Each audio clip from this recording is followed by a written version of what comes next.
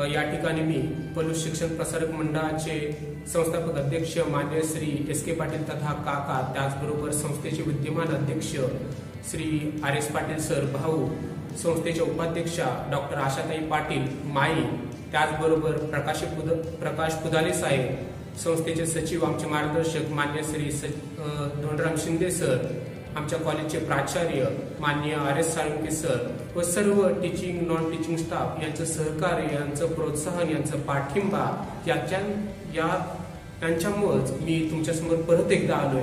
आज आपण सुरुवात करूया संगणक साक्षरतेला. आता संगणक साक्षरताच का? तर तुम्ही पाहताय हे डिजिटलचं युग आहे आणि ह्या डिजिटलच्या युगामध्ये आता प्रत्येक व्यक्ती दुसऱ्या व्यक्तीशी कम्युनिकेट आहे आणि त्याच्या पाठीमागं जे कारण आहे तो डिजिटल प्लॅटफॉर्म आहे. आणि या डिजिटल प्लॅटफॉर्ममध्ये संगणक हा महत्त्वाचा घटक आहे. तो महत्त्वाचा रोल या ठिकाणी प्ले करतोय. आणि त्याच कारणानं आम्ही संगणक साक्षरता आपल्या सर्वांसाठी या ठिकाणी घेत आहोत.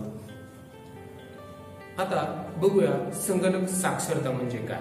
तर Computer literacy describe a general knowledge of computer, software, hardware and how they work. आता या ठिकाणी मी जरी स्लाइड माझी इंग्लिशमध्ये असेल ती मराठी मी तुम्हाला पूर्णपणे सांगेन. किंवा मराठीमध्ये तुम्हाला पूर्णपणे ज्या काही कन्सेप्ट आहेत त्या सांगेन. आता संगणक साक्षरता म्हणजे काय? तर कम्प्युटर म्हणजे काय? त्याचबरोबर त्या कम्प्युटरशी संलग्नित असणारे सॉफ्टवेअर आहेत जे हार्डवेअर आहेत हे काम कशा रीतीने करतात? ते कशा रीतीनं एकमेकांशी कनेक्ट असतात हे माहीत असायला पाहिजे.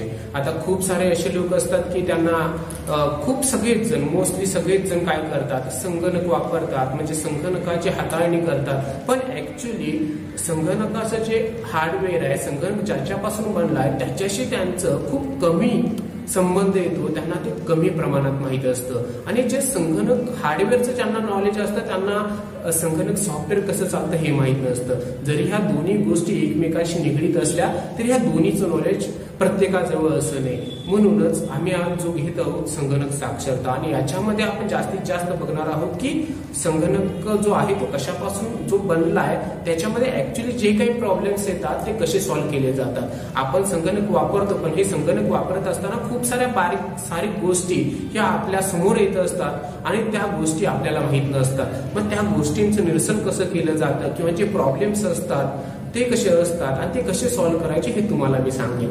आता मी सांगितल्याप्रमाणे संगणक साक्षरता म्हणजेच काय? जो संगणक आहे जो त्याच्याशी निगडीत जे कॉम्पोनंट आहे ते कशा रीतीने काम करतात हे माहीत असणं म्हणजे त्याला म्हटलं जातं संगणक साक्षरता. ते केव्हा वापरायचं आणि कसं यूज करायचं हे सुद्धा नॉलेज हे सुद्धा ज्ञान हे आपल्याजवळ असायला पाहिजे.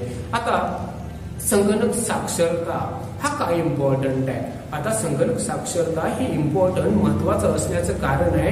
कारण तुम्ही पाहताय ज्या कंपनी आहेत ज्या ऑर्गनायझेशन आहेत प्रत्येक गोष्टीमध्ये कम्प्युटर आहे संगणक आहे. आणि ज्या कंपनी किंवा ऑर्गनायझेशनमध्ये जे एम्प्लॉई आहेत त्यांना कम्प्युटरचं बेसिक नॉलेज त्यांना सामान्य ज्ञान असणं खूप गरजेचं आहे. आणि का सामान्य ज्ञान गरजेचं आहे? कारण जो संगणक आपण यूज करतोय त्याच कारणामुळं जे आपलं काम आहे जे आपण करतोय संगणकावरती त्याच्यामुळे ते काय होते? फास्टली होते कमी वेळामध्ये होते. आम्ही आपण चांगलं अॅक्युरेसी चांगलं आउटपुट त्या ठिकाणी देऊ देऊ शकतो. म्हणून कंपनीमध्ये ऑर्गनायझेशनमध्ये कोणतंही सेक्टर घ्या कोणताही प्रिमायसेस घ्या त्या ठिकाणी संगणक आहे आणि त्या संगणकावरती सगळं काम चालतं. म्हणजे जो कामगार आहे जो एम्प्लॉई आहे त्याला त्या संगणकाचं ज्ञान असणं खूप गरजेचं आहे. आता इथं मी सांगितलेलं आहे की hardware kills allow you to physically operate a computer जो आपला कम्प्युटर आहे जो आपला संगणक आहे तो ऍक्च्युली कसा ऑपरेट होतो म्हणजे संगणक चालू कसा करायचा बंद कसा करायचा त्याच्यावरती जे टास्क चालतात ते कशा रीतीने चालतात हे आपल्याला माहीत असायला पाहिजे. मी आताच सांगितलं खूप जण संगणक वापरतात तुमच्यामधले माझ्यामधले किंवा सगळी तुम्ही बघा तर खूप जण संगणक वापरतात पण या संगणकाचं जे सॉफ्टवेअरचं नॉलेज असतं पण आपल्याला हार्डवेअरचं नॉलेज नसतं आणि त्याच्यावरतीच मी आज फोकस करणार आहे. कारण जे आपल्याला घरी प्रॉब्लेम्स येतात त्याबद्दल आपण त्याबद्दल अन्न नसतो. आपल्याला त्याबद्दल त्या अज्ञान असतो. आणि त्याच अज्ञान मला या संगणक साक्षरता या दिनानिमित्त दूर करण्याचा हा माझा छोटासा प्रयत्न आहे. आता जी संगणक साक्षरता आहे आता प्रथम तुम्हाला माहीत असायला पाहिजे की संगणक म्हणजे काय. प्रत्येकाला माहीत आहे युजर इनपुट देतो आणि त्या इनपुट वरती काय होतो? प्रोसेस होते. आणि प्रोसेस झाल्यानंतर तुम्हाला आउटपुट भेटतं. हे काम असतं संगणकाचं. मग संगणकामध्ये खूप सारे कॉम्पोनंट असतात. त्याच्यामध्ये एकूण चार कॉम्पोनंट असतात. आता या ठिकाणी तुम्हाला दिसतात की एकूण मी पाच कॉम्पोनंट या ठिकाणी मेन्शन केलेले आहेत. ते मी सांगेन. ऍक्च्युली जो आता पहिला कॉम्पोनंट आहे जे मी कॉम्पोनंट सांगतोय. मी म्हटलं की संगणकामध्ये एकूण चार कॉम्पोनंट असतात. प्रोसेसर आहे प्रायमरी स्टोरेज आहे सेकंडरी स्टोरेज आहे इनपुट डिव्हाइस आहे आउटपुट डिव्हाइस आहे. आता प्रायमरी स्टोरेज आणि सेकंड स्टोरेज याला मी एकच पार्ट मानतोय त्यामुळे मी इथं चार म्हणतोय आता जे संगणकामध्ये हे जे भाग पडले जे हार्डवेअर्स आहेत याच्यापासून आपला संगणक बनलाय. आणि जो संगणक बनलाय ना हे जे कॉम्पोनंट हे तुमच्या स्मार्टफोनमध्ये सुद्धा आहेत. बघा म्हणून इथं मी म्हटलोय की There are the five parts of the computer hardware that can be found in a most computer system and from the smartphone to the desktop computer. म्हणजे हे जे कॉम्पोनंट आहेत हे आपल्याला स्मार्ट फोनमध्ये सुद्धा आढळतात. आता पहिला जो कॉम्पोनंट आहे तो प्रोसेसर आहे. आता प्रोसेसरचं काम काय असतं? जे काही इनपुट आपण देतो जे इनपुट युजरकडून दिलं जातं त्याच्यावरती काम करणं त्याच्यावरती प्रोसेस करण्याचं काम हा प्रोसेसर करत असतो. बघा तुम्ही तुमचा मोबाईल घेता. आता ज्या मी कन्सेप्ट तुम्हाला सांगणार आहे त्याची तुलना संगणक आणि मोबाईल आपला याच्याशी करेन. म्हणजे त्या कन्सेप्ट ज्या आहेत त्या तुम्हाला समजायला सोप्या जातील. आता जो पहिला आहे तो प्रोसेसर आहे. आता प्रोसेसरचं काम आहे ज्या युजरकडून इनपुट येतात त्याच्यावरती प्रोसेस करणं.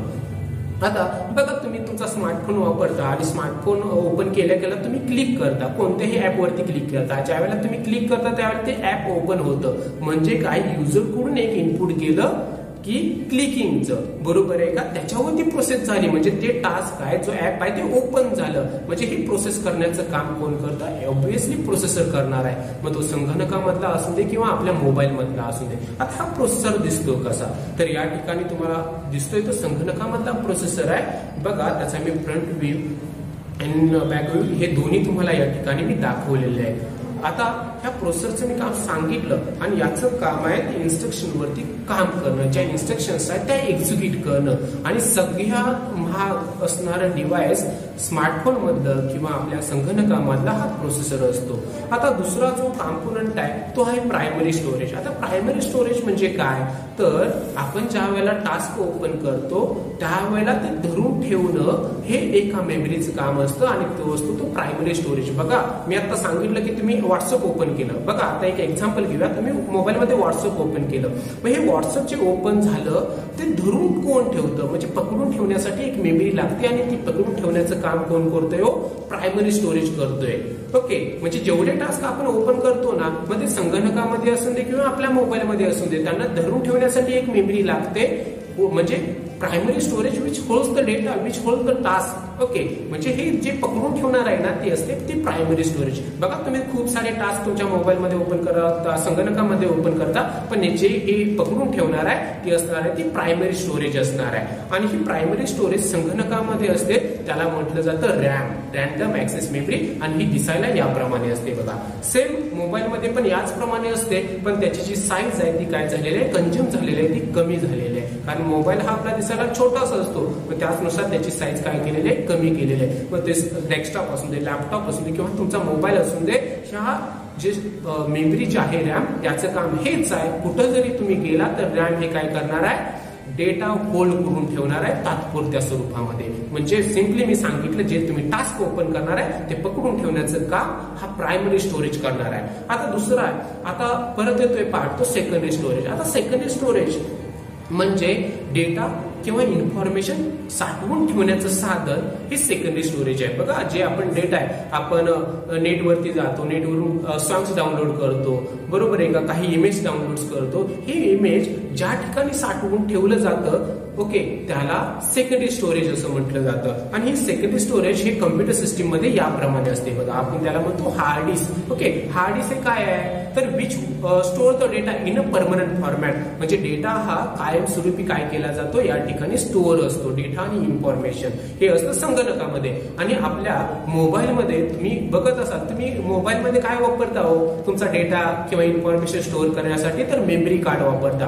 पहिले तुम्ही मेमरी कार्ड वापर करायचा. आता काही जे स्मार्टफोन्स आहेत ते आपल्याला इनबिल्ट मेमरी देतात. ओके म्हणजे त्या ठिकाणी काय केलं? मेमरी कार्ड यूज केलं. आणि हेच मेमरी काय कार्ड काय करतं? तुमचा डेटा आणि इन्फॉर्मेशन स्टोअर करतं. आता परत येतो तो input device okay input device हे काय करतं?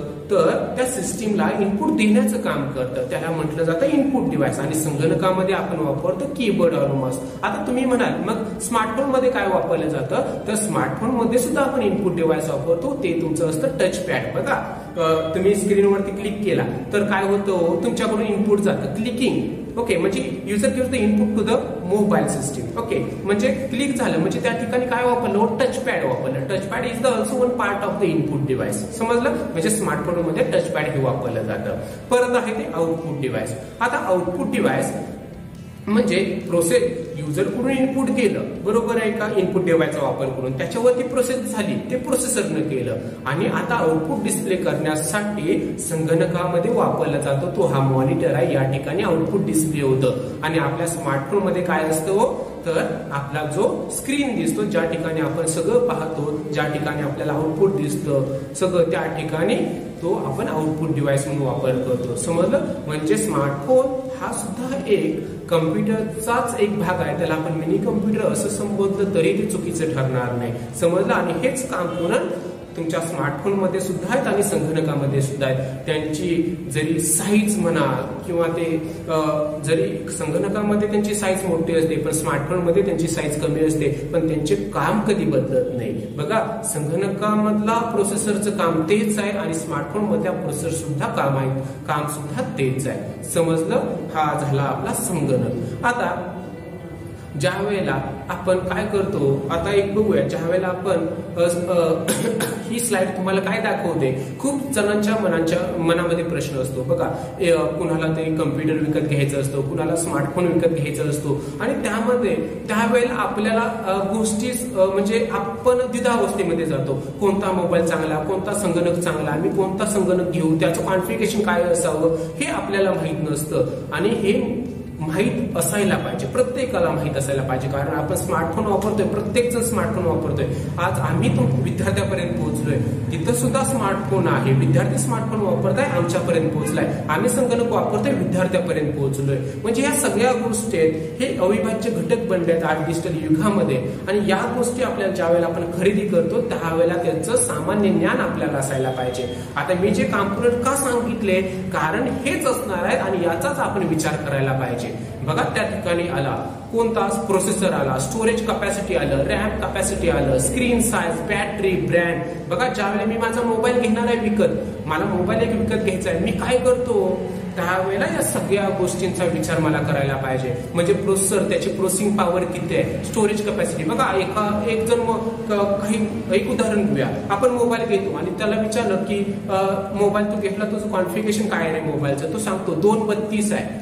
दोन बत्तीस म्हणजे काय? तर दोन जीबी ही रॅम आहे आणि बत्तीस जीबी ही त्याची स्टोरेज कपॅसिटी आहे. बघा म्हणजे दोन जीबी रॅम आहे. म्हणजे काय? त्याची होल्डिंग जी कपॅसिटी आहे ना ती दोन जीबी आहे. आणि डेटा आणि इन्फॉर्मेशन साठवून ठेवण्याची जी क्षमता आहे ती किती? आहे बत्तीस जीबी आहे. मला सांगा जर आपल्या अपेक्षा वाढल्या मी म्हटलं की चार बत्तीस घ्यायचंय म्हणजे चार जीबी रॅम घ्यायचं आहे आणि बत्तीस जीबी स्टोरेज कपॅसिटी ऑब्विसली तिथं काय होते? प्राइस वाढते किंमत त्या ठिकाणी वाढते.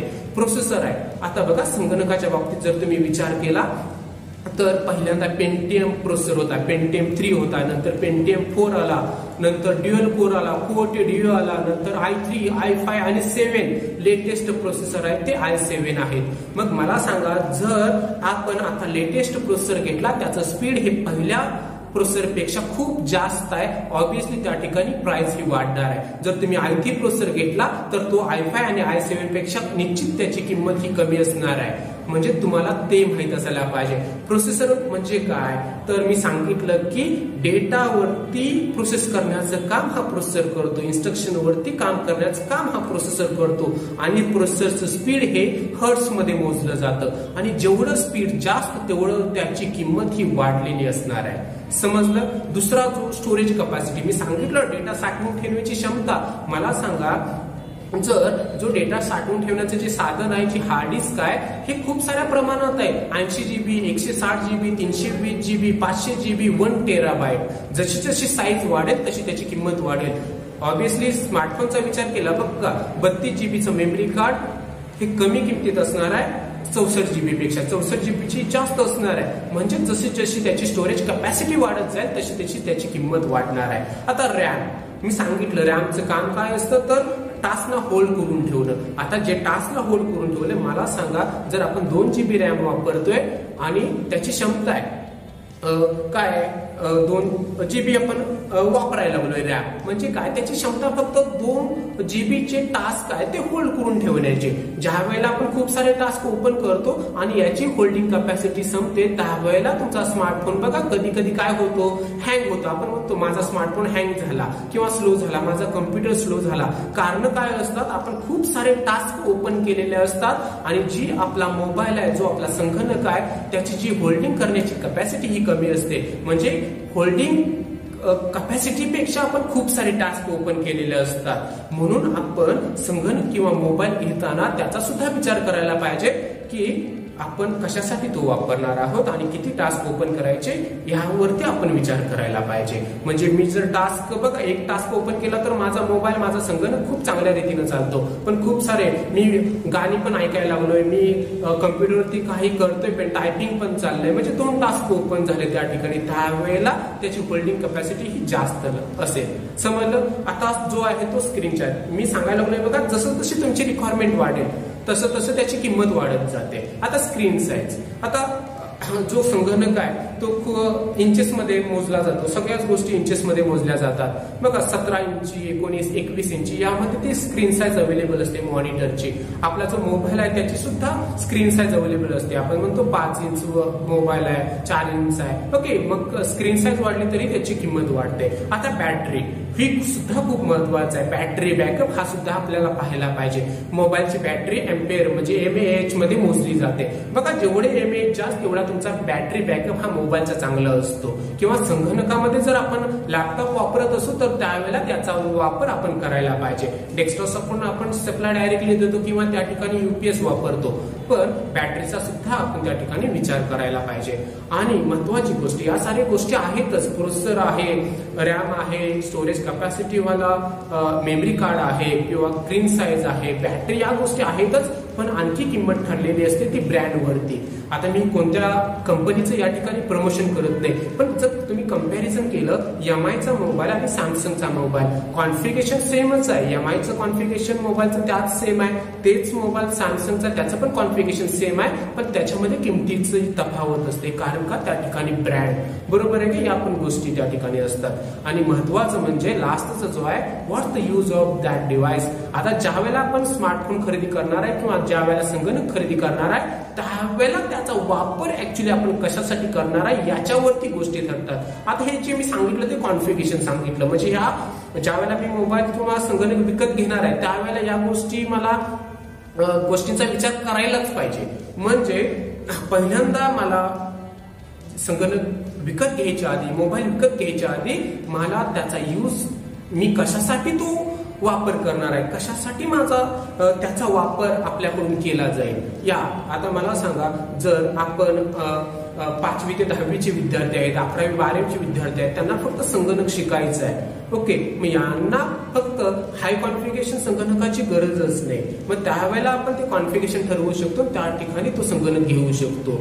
म्हणजे आता मी या ठिकाणी सांगतो बघा जे काही विद्यार्थी असतात कम्प्युटरचे विद्यार्थी आहेत किंवा ज्यांचं काम ऍडॉप ऑफ फोटोशॉपवरती चालतं किंवा मेकॅनिकल किंवा सिव्हिल इंजिनिअरिंगचे विद्यार्थी आहेत. त्यांना डिझायनिंग करायचं असतं अॅनिमेशन करायचं असतं. मग अशा वेळेला त्यांचा जो कम्प्युटर आहे त्यांचा जो संगणक आहे हा हाय कॉन्फिगेशनच हवा आहे. आणि आणखी एक महत्वाची गोष्ट म्हणजे त्यांना आणखी एक लागतो तो म्हणजे ग्राफिक कार्ड त्या ठिकाणी ग्राफिक कार्डचा विचार व्हायला पाहिजे. जर त्या ठिकाणी ग्राफिक कार्ड नसेल तर ते अॅनिमेशन जे डिझायनिंग आहे ते व्यवस्थितपणे दिसणार नाही. आणि ग्राफिक कार्ड हे दोन जीबी चार जीबी आठ जीबी याच्यामध्ये अवेलेबल आहे. मी संगणक करताना याचा कधी सुद्धा विचार करत नाही. बघा हे आपलं अज्ञान आहे आपल्याला हे माहितच नाही. आपण आपला जो पाल्य आहे किंवा जो आपल्या मित्र मैत्रीण आहे ओके जे संगणक घेतात पण आपण हा विचार नाही केला की त्याला कॅड कॅम किंवा डिझायनिंग किंवा ऍडॉप फोटोशॉप पुढे वापरायचं आहे. आणि ज्यावेळेला आपण ग्राफिक कार्ड त्याच्यामध्ये इन्व्हॉल्व नाही करत ग्राफिक मेमरीचा विचार नाही करत त्यावेळेला त्यांचा जो संगणक आहे तो बिनकामाचा ठरतो कारण तो व्यवस्थितपणे वर्क होत नाही. त्या ठिकाणी ब्लरिंग होतं चित्र व्यवस्थितपणे दिसत नाही. मग ग्राफिक कार्डचा सुद्धा विचार करायला पाहिजे. it ऑब्विसली जर ग्राफिक कार्ड ग्राफिक मेमरी त्या ठिकाणी आली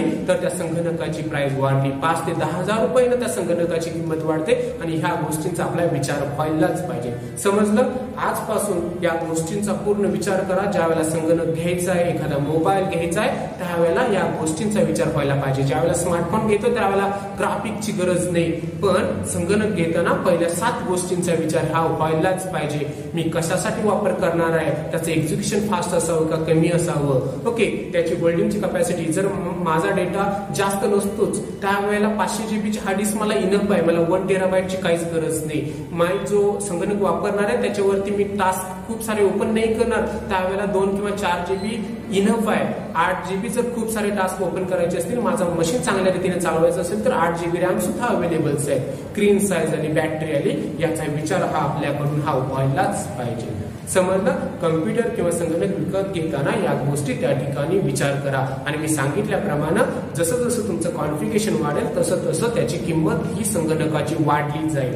आणि प्रोसेसरमध्ये I three I pen I seven हे लेटेस्ट आहे आय सेव्हन हा लेटेस्ट आहे पण आय सेव्हन खूप खर्चिक आहे पाठीमागच्या पेक्षा. म्हणजे मी सांगितलं लेटेस्ट घ्यायला गेलं की प्राइस वाढणार आहे. आणि त्या ठिकाणी जनरेशनचा पण विचार केला गेला पाहिजे. आय सेव्हनमध्ये फिफ्थ जनरेशन सेव्हन्थ जनरेशन ह्या गोष्टी सुद्धा असतात पण त्याचा सुद्धा तिथं विचार व्हायला पाहिजे. नंतर आता आपण बघूया. आता खूप सारे संगणकामध्ये प्रॉब्लेम येतात. मी मग असे सांगितले की आपण संगणक सगळेजण वापरतो आणि आपल्या घरामध्ये आपण संगणक वापरत असताना खूप सारे प्रॉब्लेम्स आपल्यासमोर येत असतात. त्यावेळेला ते जे प्रॉब्लेम्स आहेत ते आपल्याकडून कसे फाइंड आउट केले गेले पाहिजेत? आपल्याला ते समजलं पाहिजे. बघा ज्या वेळेला संगणक आहे ना किंवा जो स्मार्टफोन आहे जो संगणक आता मी संगणकाविषयी जास्त विषयी बोलेन. आता जो संगणक आहे हा माणसासारखाच आहे मानव निर्मित आहे. आणि हा बघा ज्या वेळेला माणूस किंवा एखादी व्यक्ती आजारी पडते एकदम आजारी पडत नाही. त्याच्यामध्ये काहीतरी सिमटम्स पहिल्यांदा येतात. आणि नंतर ती आजारी पडते. थोडीशी सर्दी येते ताप येतो खोकला येतो आणि नंतर ह्या गोष्टी होत असतात. त्याचप्रमाणे जो आपला संगणक आहे तो सुद्धा एकदम बंद पडत नाही. तो आधी जो वापरणार आहे जो युजर आहे त्याला काही सांगत असतो नाही माझ्या मध्ये हा बिघाड झालाय तू याला रिपेअर कर. आणि जर आपण त्याच्याकडे कानडोळा केला तर ते मशीन बंद पडतं. म्हणजे मशीन सुद्धा आपल्याला प्रत्येक गोष्टी सांगत असतं. आणि हे संगणकाचं कामच आहे. संगणकाला आपण हुशार सिस्टीम म्हणतोय. संगणक हा हुशार आहे कारण तो प्रत्येक गोष्टी हा मानवनिर्मित आहेच. आणि तो संगणक आपल्याला सगळ्या गोष्टी सांगतोय. संगणक चालू होताना सुद्धा आपल्याला काय काय गोष्टी सांगत असतो पण आपण त्याच्याकडे तेवढ्या गांभीर्यानं बघत नाही. आता हे काही सात प्रॉब्लेम्स मी तुमच्यासमोर ठेवणार आहे. ह्या सात जे इश्यू आहेत ते काय येत असतात आपल्याला? हे बारीक सारीक इश्यू आहेत आणि हे आपल्याला घरी येत असतात. आणि त्यावेळेला आपल्याला समजायला पाहिजे की संगणकामध्ये काय प्रॉब्लेम झालाय हे आपल्याला ओळखता यायला पाहिजे. मग पहिला आहे कम्प्युटर आपला चालू होत नाही. कधी कधी बघा आपला मशीन चालूच होत नाही परत दुसरं आहे ते बघा तुम्ही काही ऍप्लिकेशन ओपन करता आणि क्लिक केलं तरी तो बंद होत नाही. म्हणजे ते फ्रीज मोडला गेलेलं असतं. परत असतो तो आपला कम्प्युटर ऑब्विसली स्लो होतो. तुमचा मोबाईल स्लो होतो तुमचा संगणक स्लो होतो. मग त्यांची कोणती कारण आहे तो कसा फास्ट करायचा? माऊस कीबोर्ड कधी वर्क होत नाही? कधी कधी आपल्या संगणकाची स्क्रीन ब्लँक होते. कधी कधी नी स्क्रीन येते. कधी कधी मशीन सांगतं काही ते आपल्याला. या जे इश्यू आहेत ते आपण आपल्याला बघायचे चला तर मग बघूया आपला पहिला इश्यू आता पहिला या ठिकाणी मी तुम्हाला तो प्रॉब्लेम पण सांगेन आणि त्याच्यावरती सोल्युशन पण सांगेन. आता पहिली गोष्ट आहे तो म्हणजे काय? Power button will not start a computer बघा तो संगणक आहे आणि संगणकाचा आपण जे पॉवर बटन आहे पुढचं बटन जरी प्रेस केलं तरी आपला संगणक चालू होत नाही. आता का चालू होत नाही? तर या ठिकाणी आपल्याला जे सोल्युशन्स आहेत ते बघायचे. आता का चालू होत नाही हो? पहिलं आपल्याला चेक करायला पाहिजे की जो आपला स्विच आहे त्या स्विच कडून जो पॉवर ज्या कॅबिनेटला आलेले आहे जो बॉक्स तुम्हाला दिसतो ओके ज्याला पॉवर बटन तुम्ही प्रेस करता तो कॅबिनेट आहे. त्या जिथं तुम्ही काय केलंय इन दिलाय. पॉवर इन केलाय ती व्यवस्थितपणे कनेक्ट आहे का नाही हे तुम्हाला चेक करायला पाहिजे. बरोबर आहे का? आपला टीव्ही नाही चालू झाला की आपण काय करतो? तर पहिल्यांदा जो स्विच आहे त्याची स्विच मध्ये आपण वायर काढतो परत इन्सर्ट करतो. म्हणजे आपल्याला काय वाटत असतं की नाही पॉवर केबल व्यवस्थितपणे कनेक्ट नाही. सेम थिंग इथं जर चालू नाही झाला तर त्या ठिकाणी आपण पॉवर केबल व्यवस्थितपणे कनेक्ट आहे का नाही हे चेकआउट करायला पाहिजे. आता जर पॉवर केबल व्यवस्थितपणे कनेक्ट आहे तर आपल्याला पुढे बघायचं आहे ते आता कशी चेक करायची? तर तुम्ही त्या ठिकाणी दुसरं अल्टरनेटिव्ह एखादी डिव्हाइस वापरू शकता आणि ते चेक आणि का नाही बघू शकता. त्याचबरोबर जर तुम्ही लॅपटॉप वापरत असाल आणि पॉवर बटन प्रेस करताय आणि तुमचं मशीन चालू होत नाही तर त्या ठिकाणी तुमच्या बॅटरीचा प्रॉब्लेम असेल. कारण का? लॅपटॉप जो आपला चालतो तो बॅटरीवरती चालतो. ओके मग ती बॅटरी व्यवस्थितपणे वर्क होते का नाही? प्रॉपरली कनेक्ट आहे का नाही हे सुद्धा तुम्हाला चेक करायला पाहिजे. समजलं? म्हणजे कम्प्युटर पहिल्यांदा संगणक हे चालू होत नसेल तर या गोष्टी आपल्याला पहिल्यांदा बघायला पाहिजेत. हे तुम्हाला ऐकायला खूप सोपं वाटतंय. पण ह्या गोष्टी खूप बारीक सारीक आहेत आणि याचा आपण विचार करत नाही. आणि आपण लगेच काय करतो? जर संगणकाचा तज्ज्ञ असतो किंवा टेक्निशियन असतो त्याला बोलवतो. आणि त्याला बिनकामाचे आपण म्हणजे खर्च टाकतो. हे काय बाकीचे फक्त आपल्याला चेक करायचं होतं. आता दुसरा जो प्रॉब्लेम आहे ऍप्लिकेशन इज फ्रोझन सॉरी आता इथं काय होतं बघा ऍप्लिकेशन इज फ्रोझन म्हणजे काय? मी सांगितलं तसं. आपण एखादा टास्क ओपन करतो किंवा एखादं ऍप्लिकेशन ओपन करतो आणि ऍप्लिकेशन ओपन केल्यानंतर ते काय होतं? स्टक होतं किंवा फ्रोझन होतं. फ्रोझन म्हणजे काय? तर ते एका ठिकाणी अडकतं. जरी आपण बघा ऍप्लिकेशन मोबाईलमध्ये ओपन केलं आणि आपण त्याच्यावरती क्लोजच्या बटनवरती जरी प्रेस केलं तर ते कधी कधी होत नाही. बरोबर आहे का? जरी संगणकामध्ये असे खूप सारे ऍप्स असतात की आपण म्हणजे टास्क ओपन करतो आणि ते खूप क्लिक किती वेळा तरी क्लिक क्लिक केलं त्या क्लोज बटनवरती तरी ते क्लिक क्लिक केल्यानंतर ते क्लोज होत नाही. म्हणजे तो ऍप्लिकेशन आहे हा काय झालाय? फ्रीज झालाय. फ्रीज म्हणजे त्या ठिकाणी अडकलाय. ओके आता मग अशा वेळेला काय करायचं? तर अशा वेळेला जो कीबोर्ड आहे जे इनपुट डिव्हाइस आहे त्याच्यावरती तुम्हाला तीन बटन प्रेस करून ठेवायचे आहेत. अल्टर कंट्रोल डिलीट इथं मी दिलेले आहे अल्टर कंट्रोल डिलीट हे एका वेळेला प्रेस करायचं आहे ओके तुम्ही ज्या वेळेला एका वेळेला प्रेस कराल त्यावेळेला तिथं टास्क मॅनेजर ओपन होऊन जाईल. आणि टास्क मॅनेजर ओपन झाल्यानंतर जे ऍप्लिकेशन तिथं फ्रीज झालंय किंवा स्टक झालंय ते सिलेक्ट करायचंय. त्या ठिकाणी एंड टास्क म्हणायचंय. म्हणजे ते ऍप्लिकेशन तिथून काय होऊन जाईल? एंड होऊन जाईल. समजलं? आपण मोबाईलमध्ये सुद्धा कसं आज होतं? त्यावेळेला तुम्ही तिथं सुद्धा आपल्या टास्क मॅनेजर मोबाईलमध्ये सुद्धा असतो सेटिंगमध्ये. तो सुद्धा तुम्ही तिथं युज करू शकता. परत जर या पद्धतीने झालंच नाही तर लास्ट ऑप्शन आहे की तुमचं मशीन तुम्ही काय करा? रिस्टार्ट करा. ओके नंतर तिसरा प्रॉब्लेम बघूया. तर all the programs on the computer run slowly आपला कम्प्युटर आपला स्मार्टफोन हा स्लो झालेला असतो. आणि हे सगळ्यांच्या बाबतीत घडतं की माझा कम्प्युटर आपण म्हणतो माझा संगणक खूप स्लो झालाय. क्लिक केलं तरी लवकर होत नाही. माझ्या मोबाईलमध्ये ऍप्स लवकर ओपन होत नाही तर त्याचं पहिलं कारण आहे त्या ठिकाणी there are the some viruses attack on your devices like malware spyware म्हणजे uh, व्हायरसेस जे असतात ते तिथं अटॅक uh, झालेले असतात. तुमच्या मशीनमध्ये आलेले असतात संगणकामध्ये आलेले असतात. त्यांना क्लीन करणं किंवा किंवा स्कॅन करणं खूप गरजेचं असतं. ते रिमूव्ह करून टाकतील. नंतर आणखी एक असतं जी तुमची स्टोरेज कॅपॅसिटी आहे. बघा काय होतं. आपली जी स्टोरेज कॅपॅसिटी असते मोबाईलची असते संगणकाची असते आपण काय करतो? तर नको असलेला डेटा कधी आपण डिलीट करत बसत नाही. आणि काय होतं? तुमचे हार्ड डिस्क संगणकाची फुल होत जाते. किंवा तुमच्या मोबाईलमध्ये जे मेमरी कार्ड आहे ते फुल होतं. आणि ज्या वेळेला ते फुल होतं ना त्यावेळेला त्याच्यावरती too much pressure on the means storage capacity त्याच्यावरती प्रेशर आलेलं असतं. आणि त्यावेळेला ते कन्फ्युजन स्टेटला जातं. आणि त्यामुळे तुमचा कम्प्युटर हा स्लो होऊ शकतो. म्हणजे आपल्याला काय करायचं आहे हो? इथं सांगितलं की running out of the hard drive base तुमचा जो हार्ड ड्राईव्हची कॅपॅसिटी आहे ती रनिंग आउट झाले. खूप सारे भरले. अशा वेळेला तुम्हाला काय करायचे नको असलेले प्रोग्राम तुम्हाला डिलीट करायचे आहेत. मोबाईलमध्ये नको नको असलेले ऍप तुम्हाला काय करायचे? अनइन्स्टॉल करून टाकायचे. आता तिसरं जो सोल्युशन आहे हे खूप महत्वाचं. आणि मशीन स्लो होण्याचं कारण मेनली हेच असतं. काय? मी सांगितल्याप्रमाणे मोबाईलमध्ये रॅम आहे. परत संगणकामध्ये रॅम आहे. आणि तो काय करतोय? आपला टास्क पकडून ठेवतोय. आणि आपण काय करतो? खूप सारे टास्क हो, एकाच वेळेला ओपन करतोय. पाच सहा टास्क संगणकावरती तो ओपन करतोय. आणि टास्क जर ओपन केले मला सांगा जी आपली क्षमता आहे धरून ठेवण्याची त्याच्यापेक्षा आपण जास्त टास्क ओपन केले ऑब्विसली संगणक स्लो होतो. मोबाईलमध्ये सुद्धा तुम्ही खूप सारे बघा तुमच्या बॅकग्राऊंडला ज्यावेळेला तुम्ही क्लिअर ऑल करता त्यावेळेला किती ऍप्स ओपन असतात हो? किती तुम्ही व्हॉट्सअप ओपन केलेलं असतं टेलिग्राम असतं मेसेज असतात त्याचबरोबर तुमचा ब्राउझर ओपन असतो आणि ते आपण क्लोज करत नाही. काम झालं क्लोज नाही करत. ते बॅकग्राऊंडला तुम्ही रन ठेवत असता. आणि अशा वेळेला तुमचं जे डिव्हाइस आहे ते काय जातं स्लो जातं म्हणून संगणक मोबाईल विकत घेताना त्याची जी रॅम आहे ती रॅम ही जास्त असलेली चांगली. कारण तुमच्या सिस्टीमचा परफॉर्मन्स हा mainly based on the RAM RAM वरती डिपेंड असतो. म्हणजे जेवढी होल्डिंग कॅपॅसिटी जास्त तेवढा तुमच्या सिस्टीमचा परफॉर्मन्स हा जास्त असणार आहे. मग आणखी खूप साऱ्या बाबी आहेत.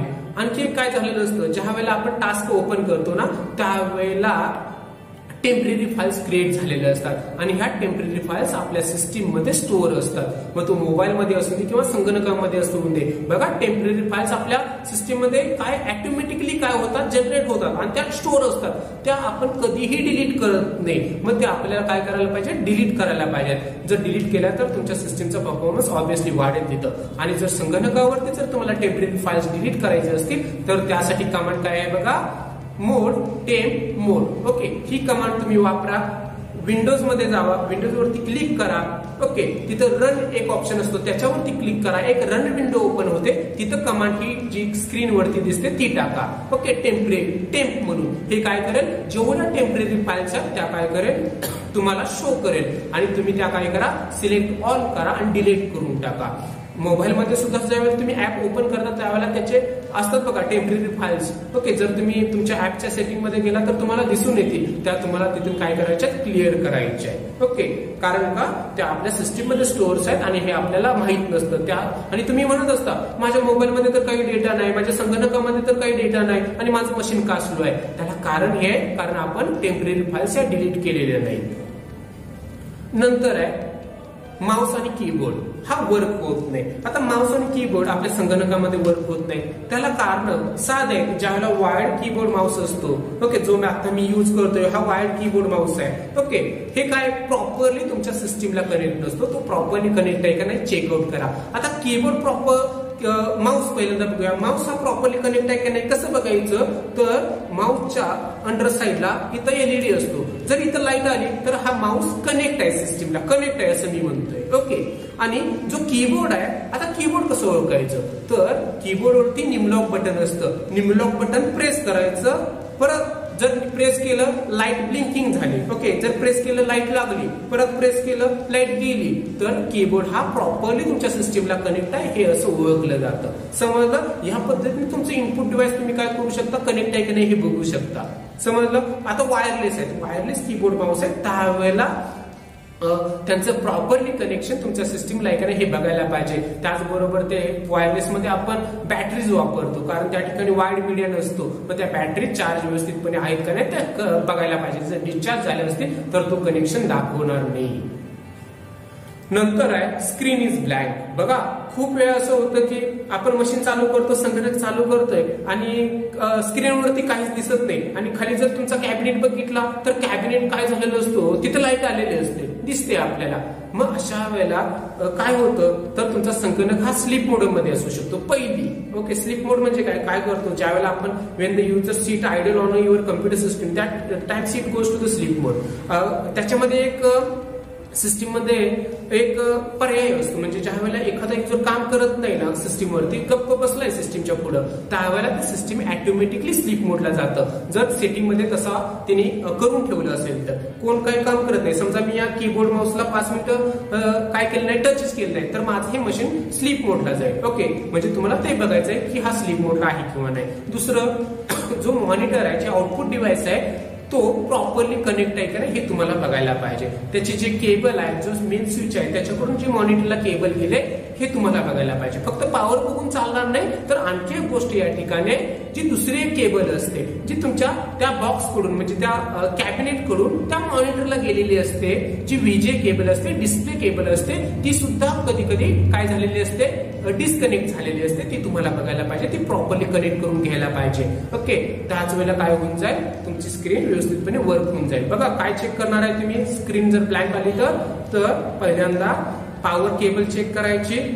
स्लीप मोडला आहे का नाही ते बघायचं. आणि जी विजे केबल आहे ती सुद्धा सिस्टीम आणि मॉनिटर ह्या दोन्ही मध्ये ती सुद्धा तुम्हाला प्रॉपरली कनेक्ट आहे का नाही हे बघायला पाहिजे. काही वेळेला काय होतं ती डिस्कनेक्ट होते. त्यावेळेला स्क्रीन आपल्याला ब्लँक होते. खूप सारी कारण आहेत ती सुद्धा मी सांगेन तुम्हाला. आता सहावा जो प्रॉब्लेम आहे तो blue screen of the day बघा हा खूप जणांना येतो. आणि हा आला ना सगळेजण भितात भितात म्हणजे काय माझं मशीन करप्टच झालं बंदच पडलं माझा डेटा मला कसा भेटणार परत? ह्या गोष्टी आपल्यासमोर उभ्या राहतात. याला म्हटलं जातं blue screen of the day okay day आता याचं कारण काय? तर बघा ज्या वेळेला काय होतं? खूप सारे मी सांगितलं आपण युजर म्हणजे आपण आहे हो. आपण आपला संगणक चांगल्या रीतीने वापरायचा आहे. आपण काय करतो? खूप सारे टास्क एका वेळेला ओपन करतो आणि खूप सारे टास्क ओपन केले तर त्या रॅम वरती प्रेशर येतं. आणि हे प्रेशर आल्यानंतर ते त्या ठिकाणी ब्ल्यू स्क्रीन येत असते. मी बघा खूप सारी कारणं आहेत. मी फक्त मोजकी कारणं तुम्हाला या ठिकाणी सांगतोय. परत काय? जर हार्ड डिस्कमध्ये काही जरी फॉल्टी झाले असेल म्हणजे काय? तर त्या ठिकाणी काय होतं? ज्या ठिकाणी आपली ऑपरेटिंग सिस्टीम लोकेट असते म्हणजे त्या ठिकाणी एक ट्रॅक असतो. त्याला एमबीआर असं म्हणतात. जर एमबीआर हा करप्ट झाला तरी सुद्धा हा प्रॉब्लेम येऊ शकतो. एमबीआर म्हणजे location of your operating system बघा युजर आणि कम्प्युटर सिस्टीम मधला जो दुवा आहे त्याला ऑपरेटिंग सिस्टीम असे म्हणतात. मग आपण Windows seven Windows ten Windows eight हेच वापरतोय. ओके आणि ते ज्या ठिकाणी हार्ड डिस्कला स्टोअर असतं ना ते काय झालेलं असतं? त्या फाईल्स करप्ट झालेल्या असतात. मग त्यामुळे सुद्धा हा एरर येऊ शकतो. आणखी काय? हिटिंग पीसी आता तुमचा पीसी हिट होतो. आता कधी हिट होतो? तर बघा प्रोसेसरचं काम असतं की एक्झिक्युशन करायचं. आणि त्या प्रोसेसरवरती फॅन असतो. फॅन कशासाठी? तर तो प्रोसेसरला कूल करण्यासाठी. ओके आणि जर तो फॅन बंद पडला. ओके तर त्यावेळेला प्रोसेस हा हिट होतोय. मग त्यावेळेला सुद्धा हा एरर येऊ शकतो. त्यावेळेला तुम्हाला ते सिस्टीम बघायला पाहिजे की आतला फॅन वर्क आहे किंवा नाही ते. ओके त्याचबरोबर आणखी एक फॅन तिथे एक्सटर्नल असतो. तो सुद्धा तुम्हाला बघायला पाहिजे. म्हणजे जे फॅन सीपीयूचा जो फॅन आहे तो त्या ठिकाणी व्यवस्थितपणे वर्क आहे हे बघायला पाहिजे. आणखी ज्या वेळेला आपण एखादं सॉफ्टवेअर इन्स्टॉल करतो.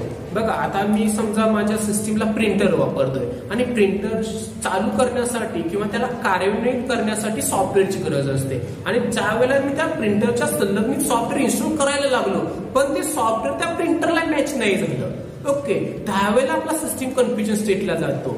आणि तो या स्टेटला जाऊ शकतो. बघा काय झालं? म्हणजे मी हार्डवेअर युज करतोय आणि त्या हार्डवेअरशी रिगार्डिंग असणारं सॉफ्टवेअर मी इन्स्टॉल नाही करत तर वेगवेगळी सॉफ्टवेअर त्याच्यावरती इन्स्टॉल करण्याचा प्रयत्न करायला लागलाय. अशा वेळेला सुद्धा तुमचं मशीन कन्फ्युजन स्टेटला जातं आणि हा प्रॉब्लेम येऊ शकतो. आणि जो इथं जो ब्ल्यू स्क्रीन दिसतो ना याच्यामध्ये एक कोड असतो. आणि हा युनिक कोड असतो प्रत्येकसाठी. Means unique code for the every specific errors जरी तो तुम्ही गुगलवरती टाकला तरी तुम्हाला गुगल लगेच सांगेल तुमच्या मशीनमध्ये काही प्रॉब्लेम आहे. ओके आणि घाबरून जाण्याचं काहीच कारण नाही.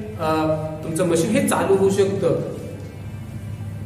परत नो बुटेबल डिव्हाइस फाउंड बघा ब्लॅक स्क्रीन येते कधी कधी. असे काय येते हो? कारण का? आपलं मशीन चालू होत नाही. आता मशीन चालू होत नाही म्हणजे का? बघा आता मी बघा सांगितलं की आपण बटन प्रेस करतोय पण मशीन चालू होत नाही. पॉवर केबलचा प्रॉब्लेम आहे. ओके पण आता त्या बटनच्या ठिकाणी लाइट आली आणि बटन प्रेस केलं की माझं मशीन चालू होतंय. आणि मशीन चालू झाल्यानंतर मला एक मॅसेज दाखवतोय की नो बुटेबल डिव्हाइस मी मगाशी सांगितलं होतं की मशीन किंवा संगणक प्रत्येक गोष्टी चेक करत असतं. प्रत्येक गोष्टी चेक करत असतं म्हणजे जे कॉम्पोनंट आहेत तो प्रत्येक कॉम्पोनंट हा तो चेक करतोय तिथं आहे किंवा नाही. जर त्या ठिकाणी हार्डिस्कच नसेल. बघा आपला डेटा कुठं आहे हो? आपली ऑपरेटिंग सिस्टीम आहे ती हार्ड डिस्कमध्ये. आणि जर हार्डिस्कच डिस्कनेक्ट झाली तर ऑब्विसली मशीन तुम्हाला मेसेज देईल नो बुटेबल डिव्हाइस म्हणजे काय झालं हो इथं? हार्ड डिस्क काय झाले? डिस्कनेक्ट झाले. ओके किंवा जी बूट ऑर्डर आहे ती चेंज झाले. किंवा त्या हार्डिस वरती ऑपरेटिंग सिस्टीम काय झाल्या करप्ट झाले. म्हणजे या ठिकाणी तीन कारण असू शकतील. काय? हार्ड मेनली मोस्टली काय? आपण बघा साफसफाई करताना काय होतं? तर हार्डिस मशीन आपण साफसफाई करताना काय होतं? मशीन मूव्ह करतो आपण. त्यावेळेला काय होतं? तिथं डिस्कनेक्शन होऊ शकतं हार्डिस आणि सिस्टीममध्ये. मग हार्डी डिस्कनेक्ट झाली तर तुमचं मशीनच चालू नाही होणार. मग मशीन नाही चालू झालं तर तिथं लगेच मेसेज दाखवेल. नो बुटेबल डिव्हाइस ओके आणि म्हणजे हा जो एरर आहे ना हा बुटेबल संदर्भात आहे. तुमचं मशीन चालू होत नाही ज्या ठिकाणी ऑपरेटिंग सिस्टीम आहे. समजलं? हे तुम्हाला कळलं म्हणजे तुम्ही काय चेक करायला पाहिजे? हार्ड डिस्क प्रॉपरली कनेक्ट आहे की नाही? चेक करायला पाहिजे. आणखी गोष्ट आहे की बघा काय होतो? तर मशीन आपण चालू करतो. आणि चालू केल्यानंतर मशीन आपल्याला डिस्प्ले देत नाही. डिस्प्ले देत नाही म्हणतोय. बघा इथं डिस्प्ले दिलाय. हार्डिंगचा प्रॉब्लेम आहे. ओके किंवा पण डिव्हाईस त्या ठिकाणी नाही. प्रॉपर जे आहे ते. आणखी मशीनच चालू होत नाही. म्हणजे डिस्प्लेच येत नाही. आता डिस्प्ले न येण्याचे कारण काय काय? आहे तर पॉवर केबल बरोबर आहे का? आता समजा इथं पॉवर केबल पण आपण दिले. ओके काही प्रॉब्लेम नाही. जी व्हीजे केबल आहे सिस्टीमकडून मॉनिटरला दिले गेले ती सुद्धा दिले. म्हणजे इथं पण काही प्रॉब्लेम नाही. पण तरी पण आपल्या मशीनला पॉवर पॉवर बटन प्रेस केलं तरी स्क्रीन येत नाही. हे कारण काय याचं? जी रॅम आहे ना रॅम ती रॅम तुमच्या मशीन पासून डिस्कनेक्ट झालेली असते. ऍक्च्युली जो डिस्प्ले आहे ना तो डिस्प्ले येण्याचं मेन कारण असतो रॅम जर रॅम जर तुमच्या स्लॉट मधून डिस्कनेक्ट झाली तर डिस्प्ले येणारच नाही. ओके ज्या ठिकाणी रॅम असणार आहे. आपण मी सांगितल्याप्रमाणे आपण साफसफाई करताना आपलं मशीन मूव्ह करतो. आणि मूव्ह केल्यानंतर काय होतं? रॅम त्या स्लॉट मधून निघून जाते. आणि स्लॉट मधून निघून गेली ना मशीनवरती डिस्प्ले येत नाही. आणि त्या ठिकाणी पण मशीन चालू होताना तुम्हाला काय देत असतो? बीप देत असतो. बघा मशीन वाजतं कधी कधी मग ते वाजणं म्हणजे आपल्याला आयडेंटिफिकेशन असतं. बघा या ठिकाणी मी तुम्हाला बीप कोड काही दिले आता हे बीप कोड हे आपल्याला सांगत असतात की मशीनमध्ये काय चाललंय? बर रॅम ही जर डिस्कनेक्ट असेल तर तुमचं मशीन वाचतं. टीयू परत थांबतं. टीयू टीयू असं कंटिन्युअस वाजत राहतं. म्हणजे काय? त्या ठिकाणी त्या ठिकाणी काय आहे?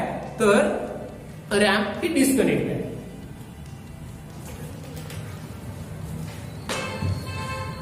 आता बीप कोड दिला. यावरून तुम्हाला समजायचं. बघा इथे मी लिहिलंय beep repeating endlessly okay continuous beep वाचतोय म्हणजे काय? तर रॅमचा प्रॉब्लेम आहे. म्हणजे मशीन आपल्याला सांगायला लागलाय हुशार सिस्टीम आहे. हे आपल्याला सांगतंय की इथं काहीतरी प्रॉब्लेम झालाय.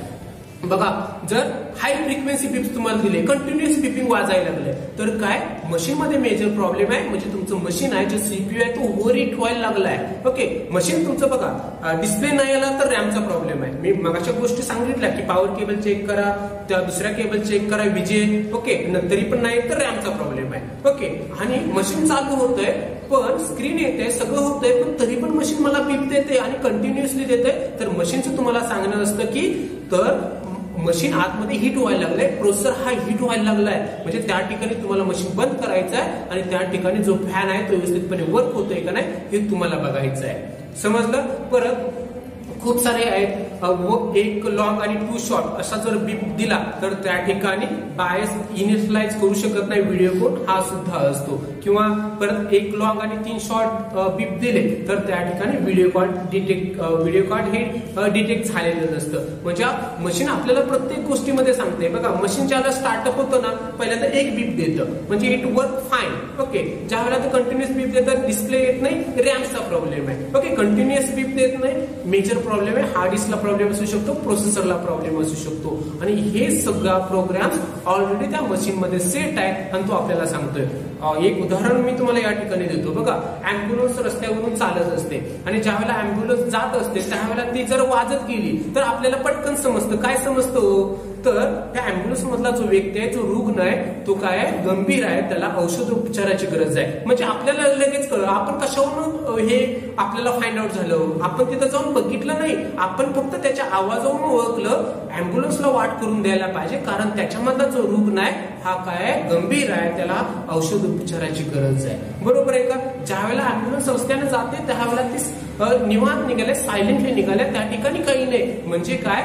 जे रुग्ण आहे त्याच्यामध्ये जो काय आहे तो नॉर्मल मोडला आहे ओके त्या ठिकाणी होतं. म्हणजे ज्याप्रमाणे आपल्याला अँब्युलन्स सांगतात त्याचप्रमाणे आपलं मशीन सुद्धा आपल्याला सांगतंय बीप देते आपल्या युजरला सांगत असतं ही ही माझी कंडिशन आहे आणि त्याच्यावरती तुम्ही काय घ्या डिसिजन घ्या. म्हणजे त्यावेळेला हे प्रॉब्लेम आपल्याला काय करायला पाहिजे? ओळखता यायला पाहिजे. ओके खूप सारे या ठिकाणी बिप्स कोड असतात. मी फक्त उदाहरणासाठी तुम्हाला इतके दिले आणि आपल्याकडे वेळेची कमतरता असल्यामुळे मी तेवढेच घेतोय. समजलं? पण एवढे तुम्हाला मला वाटतं समजलं जाईल.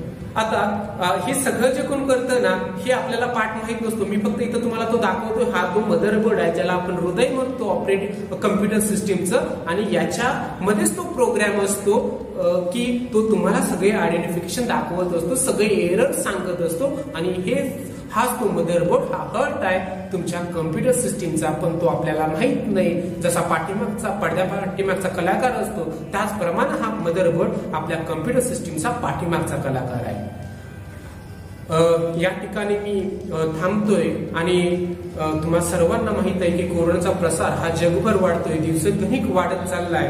आणि जिल्ह्यामध्ये जो किंवा आपल्या महाराष्ट्रामध्ये जो सामूहिक संसर्ग चाललाय आणि या सामूहिक संसर्गामध्ये कोरोना हा कोणापासून होतोय हेच माहीत नसतं. म्हणजे जरी एखाद्याला कोरोना झाला तर त्याचा सोर्स कोण आहे हे फाईन या सामूहिक संसर्गामध्ये होत नसतं. म्हणूनच तुम्ही स्वतःची काळजी घ्या आपल्या कुटुंबाची काळजी घ्या आणि तुम्ही घरीच थांबा घरी राहा आणि सुरक्षित राहा